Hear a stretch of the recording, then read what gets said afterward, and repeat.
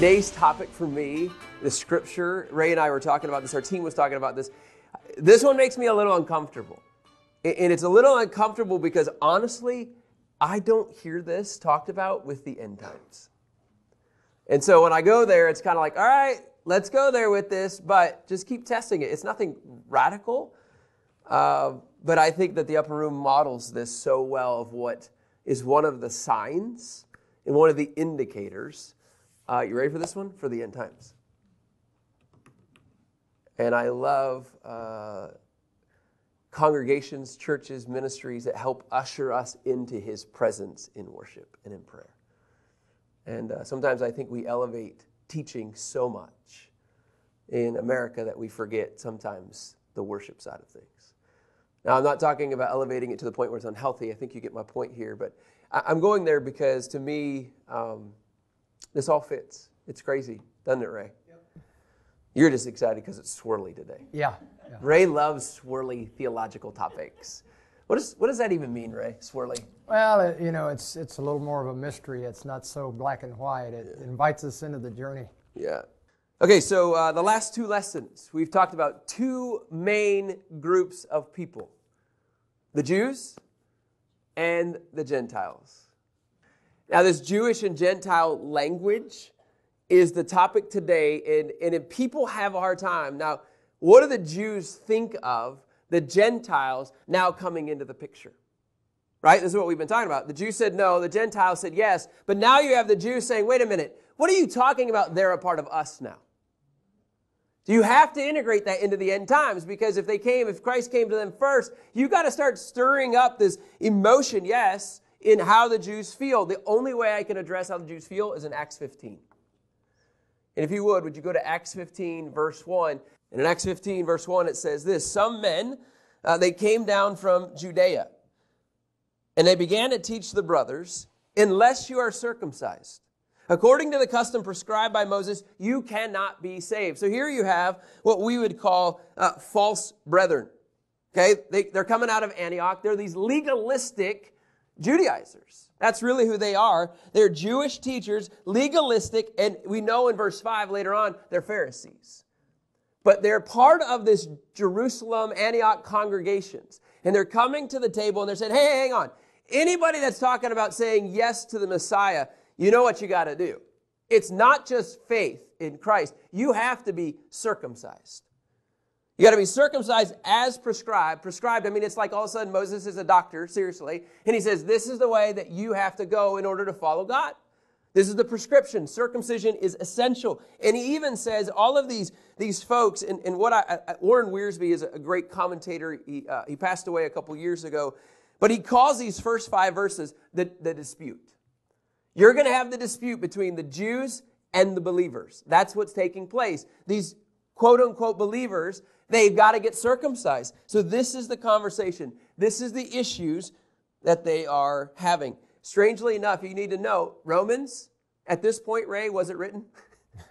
no.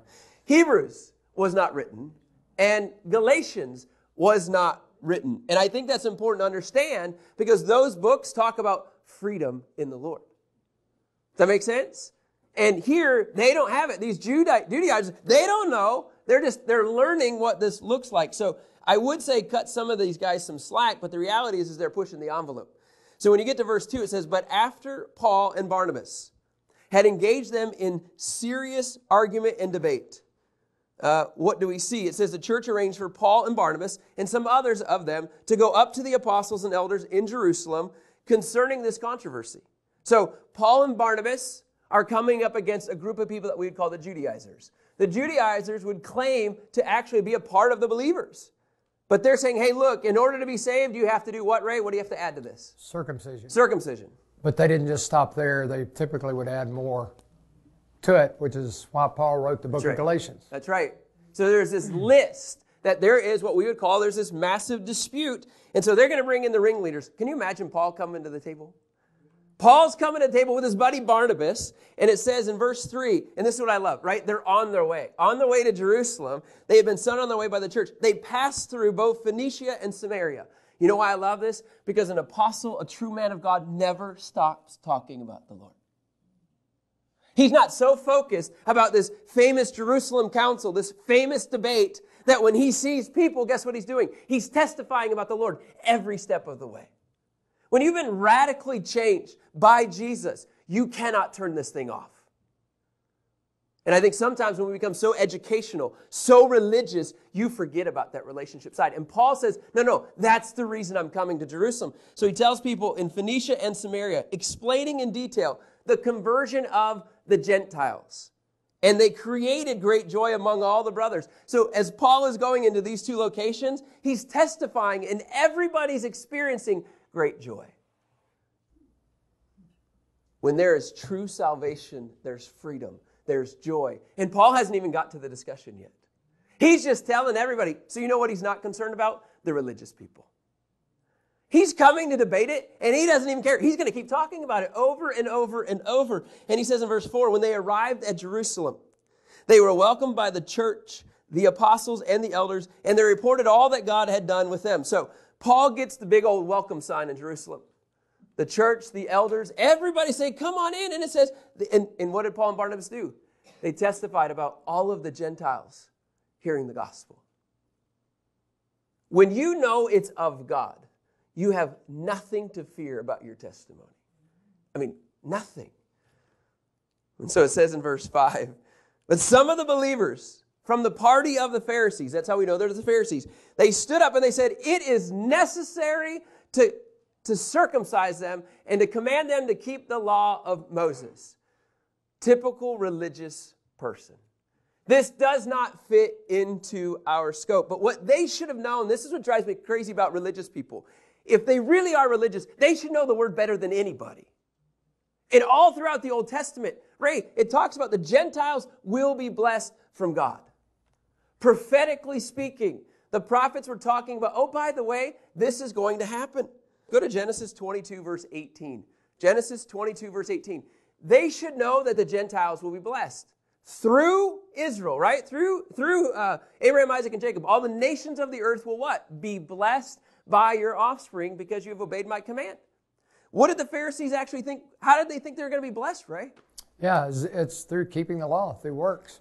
Uh, Kevin, can you just go to, let's go to Isaiah 49, verse 6. Isaiah 49, verse 6. There's plenty of text in the Old Testament, by the way, that shows that the Gentiles will be blessed. It says in Isaiah 49, 6, it is, it is not enough for you to be my servant, raising up the tribes of Jacob and restoring the protected ones of Israel. I will also make you a light for the nations to be my salvation. What? To the ends of the earth. So when salvation begins to take place, what do the Pharisees do? Kevin?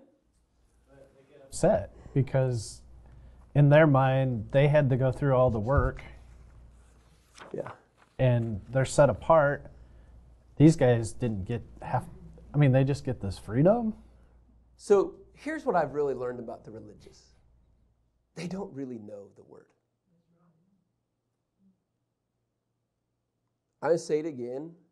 I actually really believe that the religious don't really know the word if they knew the word, they would know it points to the Messiah. If they knew the word, they would know that he's offering true freedom. So when Paul's going to Phoenicia and he's going to Samaria and he's everywhere talking about the Gentiles, like to me, they should know, yes, we are the reason that they're being blessed. Instead, they push him away. And I think for me, the dispute is wait a minute, are you telling me that the Gentiles are a part of us? That's the dispute. But when you get into this, you can see in verses 6 through 18, I'm in Acts 15 again, you're going to hear what Wiersbe says it's called a defense. You have the dispute, and now you're going to hear what we would call, right, the defense. That makes sense. It says, And the apostles and the elders assembled to consider this matter. Ray, just for clarity, what's the matter again? Yeah, it's, it's whether uh, Gentiles have to keep the law and be circumcised. Verse 7 it says, After there had been much debate, Peter stood up and he said to them, Brothers, you are aware that in the early days, God made a choice among you. I love this. That by my mouth, the Gentiles would hear the gospel message and believe. So here's what I want to do here. Ray, who's talking right now, just out of curiosity? Peter. Peter is talking. In the debate, what he says is he says, hey, by the way, God chose Peter preach the gospel to who? Gentile. To the Gentiles. So now remember, this is a part of his uh, of his defense, right? He goes, "You should know I'm here. I'm supposed to preach." In fact, who did who did Jesus give the keys of the kingdom to? To Peter. Just even that fact alone, even that truth alone, should say, "Hey, by the way, I've been asked to do this by the Messiah." This isn't anything new. And then he just says this. He says in verse 8, and God who knows the heart testified to them, who's them? Gentiles, by giving the Holy Spirit just as he did also to us. Who's us? The Jews. The Holy Spirit came to the Gentiles just as the Holy Spirit came to the Jews. So in this, I think you got to understand God gave the Holy Spirit to the Gentiles. And one of the main reasons, not the only one, for the Holy Spirit is to bear witness, right? To empower, so that we can show who we are, that we've been born again, that whoever believes. So you have God chose Peter to what? Preach the gospel to the Gentiles. Then he gave the Holy Spirit so that they would bear witness that they've been born again. In verse 9, he made no distinction, I'm back in Acts 15. He made no distinction between us and them, the Jews and the Gentiles, cleansing their hearts by faith. That's huge. Why is that huge, Ray? Well, it's it's saying, you know, as Paul says, there's in in Him, in Jesus, there's neither Jew nor Greek. That's right. It's uh, God makes no distinction. There's neither male nor female. It's uh, back to the, you know, the passage in Amos that He's going to pour out His Spirit on all flesh. All flesh. Kevin, can you go to Ephesians 2 if you don't mind for me? Ephesians 2 12 through 18. You will see, and Warren Wiersbe spells this out very well, the gospel erased the difference. Ephesians 2 12 through 18. Uh, it says, At that time, you were without the Messiah, excluded from the citizenship of Israel, and foreigners to the covenants of the promise, with no hope and without God in the world. Ray, who's he talking about right there? He's talking to the Gentiles. The Gentiles. He's saying, hey, you guys had no hope. You weren't a part of us. But now in Christ Jesus, you who are far away have been brought near by the blood of the Messiah. Because of the Gentiles, because of Christ, you're now near. And Ephesians 2.14 says, He is our peace, who made both, both groups, the Jews and the Gentiles. He tore down the dividing wall of hostility, and in his flesh he made of no effect the law consisting of commands and expressed in regulations, so that he might create in himself. So I want to tell you this. This is the work of the Lord. He says, so he could create in himself one new man from two. Who's the two, right? Just again. the Jew and The Jew and the Gentile. We're overstating this, but this is a part of God's plan in the end times that the Jew and the Gentile, through Christ, become one. Resulting in peace, it says at the end of 15, but in 16, it says he did this so that he might reconcile both to God in one body through the cross and put the hostility to death by it, right? This is one of the reasons in the millennium there's a thousand years of peace. Why? Because there's he, he tore down the wall between Jew and Gentile, and between Gentile and Gentile, there's going to be peace because everything is reconciled in Him. Amen. Ephesians 2:17 says when Christ came he proclaimed the good news of peace to you who are far away. Can I just tell you guys whenever you see people dealing with anxiety, whenever you see people dealing with loneliness or depression, you go to any coffee shop, I guarantee you you'll find one. And you start speaking the language of peace. It will resonate almost with every person. We are all longing for that peace, and that peace can only come from Christ. These people that feel so far away, that peace will draw them, yes, to him and, and peace to those who were near. And finally, in verse 18, Ephesians 2:18 says, For through him we both, look at that, we both have access by one spirit to the Father. So when Paul said, uh, uh, when Peter's talking about this, the gospel erased the difference. Yes, it did, right? Uh, you know, a great parable about this is the the prodigal son. You know, the prodigal son comes home, reconciled back to the father. The one that's angry is the religious older brother. And I think it's a great picture of old and new covenant. Acts 15, verse 10. And this is the fourth point that I like that Wiersbe says on here. It's just in, in verse 4, or number 4, sorry. It says in Acts 15, 10, "Now then, why are you testing God by putting a yoke on the disciples' necks that neither our ancestors nor we have been able to bear?" So, ultimately, what he's saying is, and I like this, is that there has been the gospel has brought removal of the yoke of law. Uh, a couple verses here. Can you go to Matthew 11, 28, 29? Remember, all of this, right? All of this is a picture of the Gentiles experiencing freedom. Matthew 11, 28. Come to me, all you who are weary and burdened, and I'll give you rest.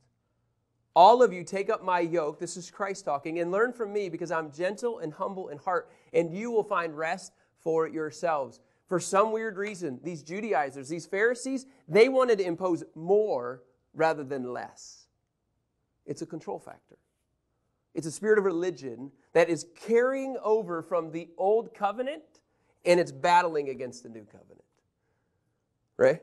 You know, the first time you see this expressed is when the serpent is talking to Eve and she says, We can't eat from it or touch it.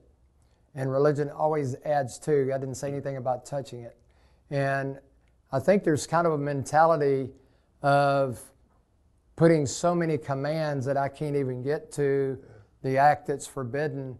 And Paul talks about that when he, he says, he actually calls it doctrine of demons. He says, do not handle, do not taste, do not touch. You know, that these things look like, you know, they're beneficial, but have no ability to control the flesh. Yeah. Amen. Galatians 5:1 it says this Christ has liberated us to be free. Watch this. Stand firm. Whew. Then and don't submit again to a yoke of slavery. You're done with the old way of doing things. And so, what you see here is uh, a really unique uh, four process of Acts 15. Remember, this is a, a debate right? This is what we're seeing the dispute, the defense, and this defense continues on. It says in verse uh, 11, on the contrary, Peter is still talking, right? We believed we are saved through the grace of the Lord Jesus in the same way they are. Enough right there. If you want to know what the gospel is, here it is. We're saved through the grace of the Lord Jesus. It doesn't add anything else, you guys. That's it. You don't have to pray more people into something. Once they're here, it's yes. I've actually been in a theological conversation this week about people adding things to the scriptures, and it's not even there.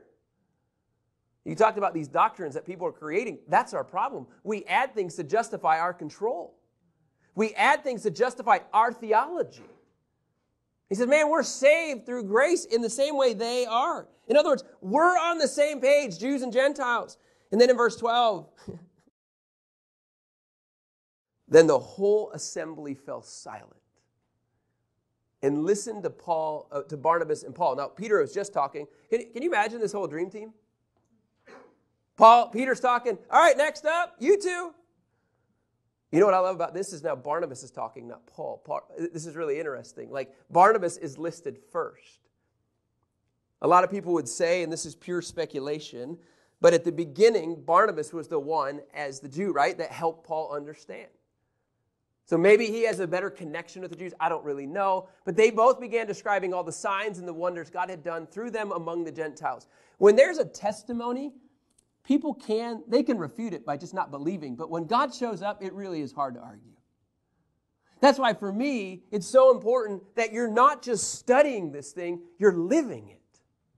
To number our days, you want to combat the spirit of religion? Have a life that reflects freedom. And I think for me, that's exactly what's happening to Barnabas and Paul. They're just telling story after story of God showing up, God showing up. You know what happens? The religious say, I don't know. Or some will say, I want that. That's my prayer, is that through the Spirit of God, He'll start drawing people unto Him. And what you see in verse 13 and back in Acts 15, 13, it says, They stopped speaking so Barnabas and Paul are done. Now enter in another superhero of faith, James. Right? James and John, right? This is uh, the guys that ran with Jesus. He's one of the pillars, you guys, of the Jerusalem church. He's the half brother of Christ. And it says, All right, brothers, listen to me. Now that you've heard Paul, now that you've heard Peter, uh, now, okay, I'm next. And interesting enough, in Acts 15, verse 14, he says, Simeon has reported how God first intervened. He used the Simeon, I believe, to connect with the Jewish culture. Names mean everything. And even in this defense, he understands how to connect with people. Simeon had reported how God first intervened to take from the Gentiles a people for his name. You guys, what does this mean that God has first intervened to take from the Gentiles a people for his name? Ray, you got any thoughts on that? No, I, I mean, it's just, I believe it's God's desire all along expressed through Abraham Yeah. that, you know, uh, Paul calls him the father of all who believe. And, you know, he asked the question Did the passage where it says that he believed and God credited it for righteousness, and he asked the question, was that before or after he was circumcised? it was before. Yeah. And then he received the sign of salvation to the Jew, circumcision. That's the reason he's the father of both. Yeah. And I believe it was God's heart all along. And like the Messianic Psalm we saw, I guess it was last week or the week before, that where the Father's talking to Jesus, ask me, and I will give you the nations as your inheritance. Amen. Amen. So when you see this back in Acts 15, 14, you know what he's saying? You guys should know this, by the way. Simeon reported how God first intervened to take from the Gentiles a people for his name. And then he backs it up with Old Testament scripture. So he makes the disclaimer, and now he says, and you should know this. He says in Acts 15, 15, at the Jerusalem Council, James is confronting and talking to the Judaizers, the legalistic Pharisees that say you can only be saved through faith and by circumcision and by keeping the law. He says, no, no, no, you should know this. In Acts 15, 15, the words of the prophets agree with this. What I'm saying in verse 14, what I'm now just saying is that the Gentiles are going to be blessed. It's going to come to fruition in Acts 15, 15. He says in, in 16, he says, after these things, I will return and rebuild David's fallen tent. I will rebuild its ruins and set it up again. We're going to hang out in verse 16 for a while. So, all right, James is talking to the legalistic Pharisees, and he throws out this end times text that should totally confirm everything that we've been going through. He says, after these things, by the way, we'll get into this. He's reciting Amos 9, okay, Amos 9, and he gets into really uh, I'll just say 11 and 12 right now. But he gets into this, into this conversation. Now, Ray, just so we're clear, when he says after these things, what is he alluding to?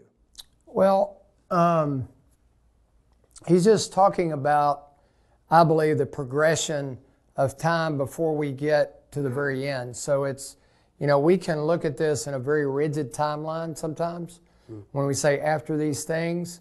Um, but I believe this progression from, uh, you know, Paul talked about, I mean, uh, Peter, we're in the last days since Pentecost. And so there's a progression of building. And so I just believe he's talking about as we get to the end, we're going to see the rebuilding of uh, David's tabernacle, his Good. tent. And here's what I want to say, okay? This language of David's fallen tent. I'm going to back up. I'm going to go into Chronicles. I'm going to back up. I'm going to go into 2 Samuel. So you're going to see how this keeps backing up. So remember, in the book of Acts, the Jerusalem council is here. They're mad because people are coming to know Christ, these Gentiles, and they're not adhering to the Jewish law, okay? This is the language, okay? So now he's reciting, he said, You guys should know these things. And he says, This David's fallen tent. How would you, Ray, this is maybe a little bit of a bigger question, that David's fallen tent is called the tabernacle of David. Okay? Are we talking about uh, an actual physical rebuilding? Because this is not the temple. Correct. Make the difference, will you? Well, for a long time, you know, when I when I would see that, I just automatically thought temple, which I think a lot of us do. But a but a tabernacle is different, uh, you know, than the temple.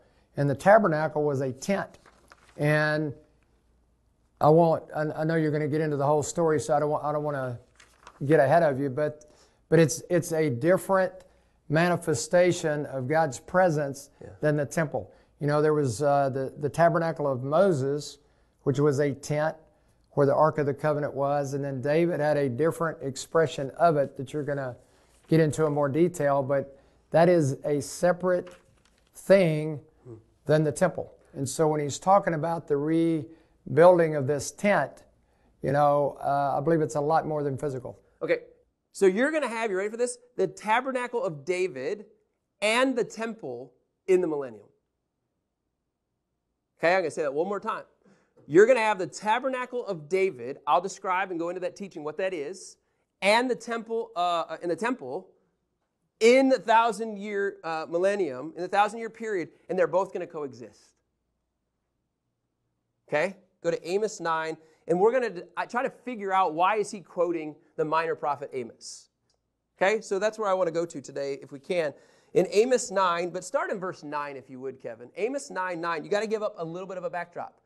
Okay, Amos 9 9 says, For I am about to give the command. I will shake the house of Israel among all the nations. Okay, as one shakes a, a sieve, did I say that right? A sieve, but not a pebble, pebble will fall to the ground. So imagine just a salt shaker, and out falls these little small grains, right? That's the Israelites, that's the remnant. But the pebbles, okay, those that are coming after him, those that want to destroy Israel, they're staying in. So what he's saying is, I'm going to spread my people all over. Kevin, what happened after David and Solomon's reign? It got messy and they went all over. After David and Solomon's reign, all of the Israelites were dispersed. So now you hear this language I'm going to rebuild David's fallen tem- uh, tabernacle, his tent. I'm going to rebuild that. So, what does that imply, Kevin? If they're dispersed everywhere, what does it look like then? It means they're coming back together. It, it means they're coming back. So, when he's talking about restoring, repairing, rebuilding, he's going to start, I want you to have this mindset, he's going to start bringing the Jews back to him. It's important to understand. This fallen booth is now going to imply my people are going to come to me. Right now, they're dispersed. Amos 9:10 says, "And all the saints, all the sinners among my people who say disaster will never overtake or confront us will die by the sword." Do you know what he says there? There's going to be no more fighting in the millennial. You're done taking over my people. I'm restoring my people back to me. And in Amos 9:11, this is what uh, James quotes. In that day, I will restore the fallen booth of David. So, what are you seeing now? you're seeing the restoration of the Jews. Don't worry, we're going to get into even more of that, okay? Remember, this is swirly. You got to hang in here with me. I will repair its gaps, restore its ruins, and rebuild it as in the days of old. What is the days of old? Right? If he's going to rebuild it, restore it, repair it, what is Amos talking about? I believe he's talking about uh, David yeah. and his revelation that he got, which is how why he established uh, this unique expression at a time that totally violated the prescribed way of worship under the Mosaic covenant. And he got a revelation of this, and I believe that's what he's restoring. All right. Uh, James in Acts 15 is talking about the, the Jews being restored back to him. Okay, right now that's the only language that we have. In Amos, a minor prophet, guess what he's saying?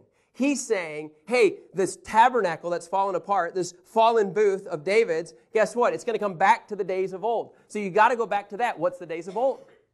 Now I want you to go to First Chronicles, okay? Hopefully you guys are with me. First Chronicles 13. First Chronicles 13. What I'm going to do is, is there's, there's 14 verses. I'm just going to kind of bullet point it so you can see because I got to cover two chapters here. Okay, now in verse 3, it says this David has this, this uh, it says, Then let us, David is saying, let us bring the ark of our God, for we did not inquire of him in Saul's days. So David is now saying, Hey, we want the ark back. Now, Kevin? It was with the Philistines. That's right. And so uh, the ark, just so you know, in the ark, Kevin, it's fair to say we would have the Ten Commandments, right? Correct. And so Aaron's rod. So the law was with, you ready? Kevin said this earlier, and Ray said this earlier. The law is in the ark. So we're not, uh, we're not destroying the law. We're not abol- abolishing the prophets. Jesus says, No, I'm coming to fulfill.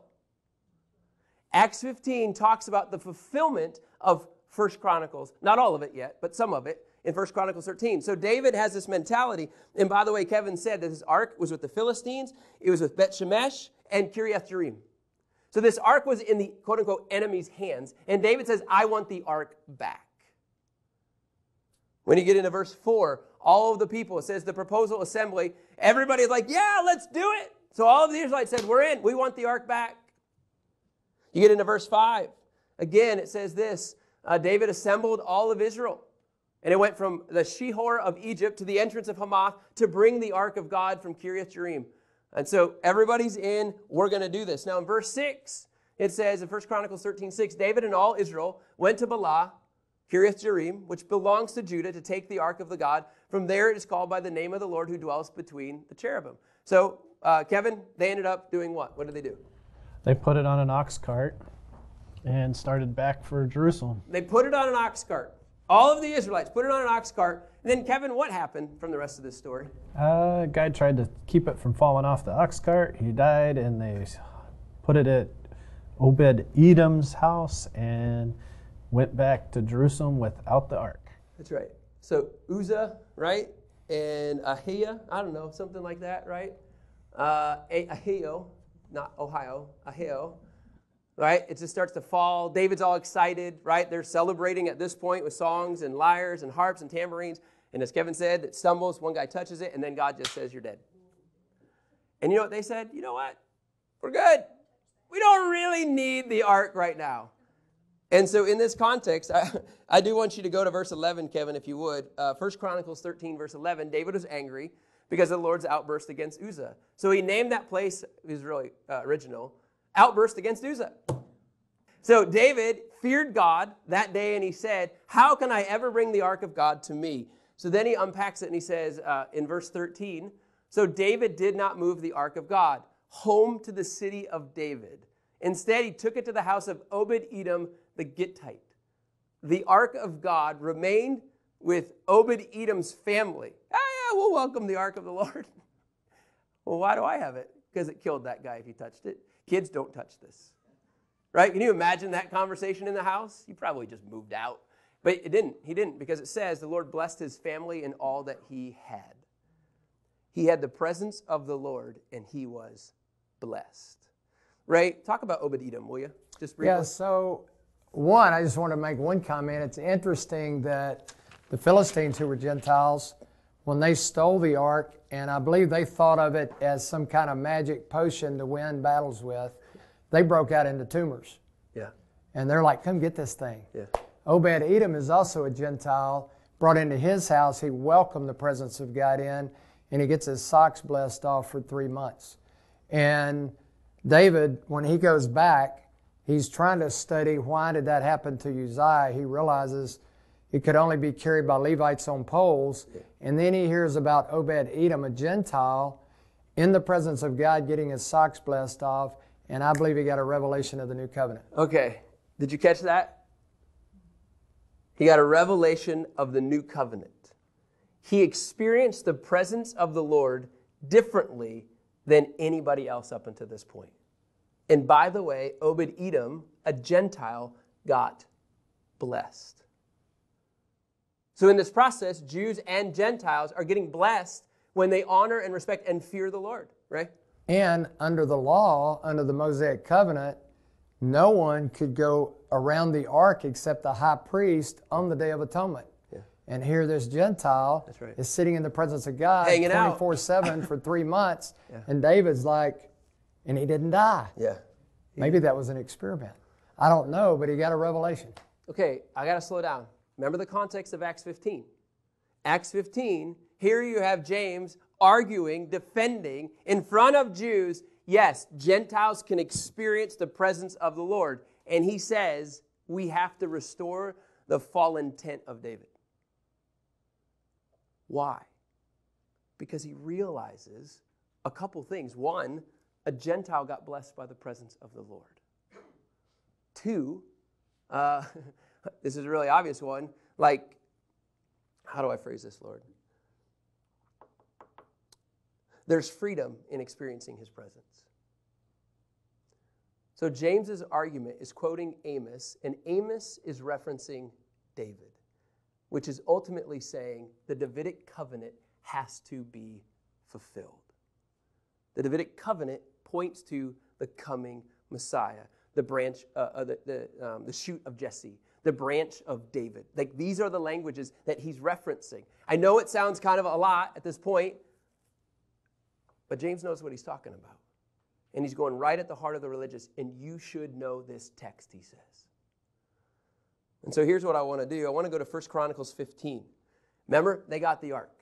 1 Chronicles 15, verse 1 David built houses for himself in the city, and he prepared a place for the ark of God and pitched a tent for it. Now, I will say this Ray, we had said that the tabernacle of David is not a physical, but in this context, it is. Yes. Okay? In this context, it is. In the millennial, right, it's not. No, I believe it's this uh, expression of worship that's uh, going to be described where, you know, even when his tabernacle was in Jerusalem, the tabernacle of Moses was still there, Yeah. which is where the ark was supposed to be. But because of this revelation, uh, David put it in one room instead of behind a curtain where the high priest could only go in one day a year. Now you've got the worship of God 24 7, where there's only one room, there's no division, and there's Jew and Gentile in that room worshiping God. So watch this. Amen. In 1 Chronicles 15, Kevin, go to verse 3. He's starting to prepare a place. In verse 3, he says, He assembled all of Israel to bring the ark of the Lord to the place he had prepared for it. When you get to verses 4 through 14, here you have what's called the Levites and the priests. And what are the Levites and the priests doing? They're getting ready to receive the presence of the Lord. The Levites and the priests are getting ready to receive the presence of the Lord. When you go to verse 15, this time it's different. Then the Levites carried the ark of God the way Moses had commanded, according to the word of the Lord, on their shoulders with the poles. So here's what I want to say when there's freedom, there still is order. When there's freedom, there still is order. It doesn't mean you're this loose cannon walking in lawlessness and walking in sinfulness. No, no, no. There's still order. That's why the law is there. It's got these, these rails for us to walk and express in freedom. Now, when you keep going, okay, go to verses 16 through 24. Now you have the Levites and priests getting ready, but you also have the musicians and the gatekeepers getting ready. When you get to 1 Chronicles 15, verses 24, David, it says, uh, in verse 24, it says, uh, the priest uh, Shabaniah, Jehoshaphat, Nathaniel, Amasaiah, Zechariah, Benaniah, Eleazar, they were to blow the trumpets before the ark of God.